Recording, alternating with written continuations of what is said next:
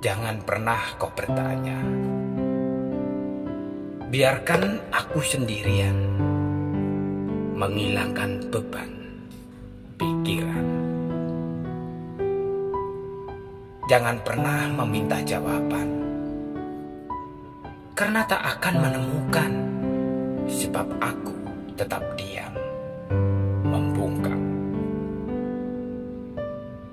Jauh atau dekat, usah dipertanyakan.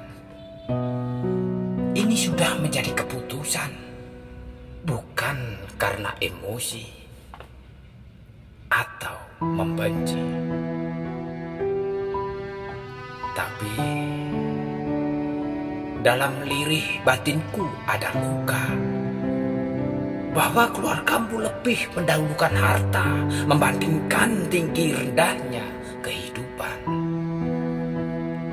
hingga engkau tak tahu. Kala itu aku sempat dalam pengusirannya. Ra